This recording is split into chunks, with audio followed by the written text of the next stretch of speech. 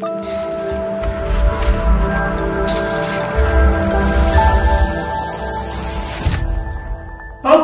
ഞാൻ രമേഷ് ഗോപാൽ. തനിമ വാർത്തകളിലേക്ക് സ്വാഗതം.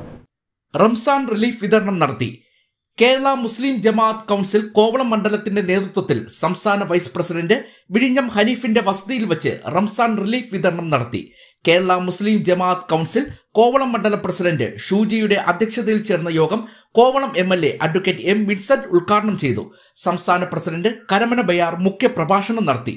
സംസ്ഥാന സീനിയർ വൈസ് പ്രസിഡന്റ് വിഴിഞ്ഞം ഹനീഫ കോവളം മണ്ഡല സെക്രട്ടറി അയൂബ് ഖാൻ ഭാരവാഹികളായ സക്കീർ ഹുസൈൻ ഹസൻ കണ്ണ് ദൌലത് ഷാ വടക്കേ ഭാഗം മുസ്ലിം ജമാഅത്ത് അസിസ്റ്റന്റ് ഇമാം നസീർ ഖാൻ തുടങ്ങിയവർ ആശംസകൾ അർപ്പിച്ച് സംസാരിച്ചു.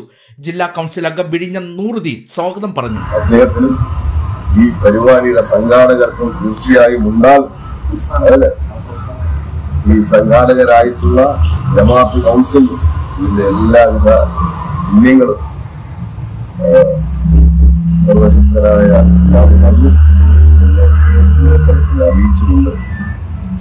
ഞാൻ മറ്റു കാര്യങ്ങളിലേക്കൊന്നും കിടക്കുന്നില്ല ദാനധർമ്മങ്ങൾ നടത്തുന്നവർ.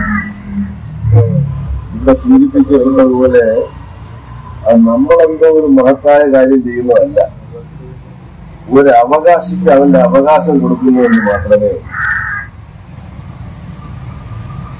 അവകാശപ്പെട്ടവന് അവൻ അവകാശപ്പെട്ടത് നൽകുന്നു എന്നതാണ്. ഇത് മറ്റുള്ളവരുടെ സ്നേഹം കൊണ്ട് എനിക്ക് കിട്ടിയതാണെന്ന് വാങ്ങുന്നവരും എന്റെ കാരുണ്യമാ പ്രവർത്തനമാണ് എന്ന് കൊടുക്കുന്നവരും ചിന്തിക്കാതെ അവകാശപ്പെട്ടത് അവകാശപ്പെട്ടവന് കൊടുക്കുന്നു എന്ന ചിന്ത മാത്രമേ ഈ കാര്യത്തിൽ ഉള്ളൂ എന്ന് കൂടി സൂചിപ്പിച്ചുകൊണ്ട് ഇതിന്റെ ഔപചാരികമായ വിവരണം ഒരാൾക്ക് നൽകിക്കൊണ്ട് ഞാൻ നിർവഹിക്കുന്നതായി അറിയിക്കുന്നു.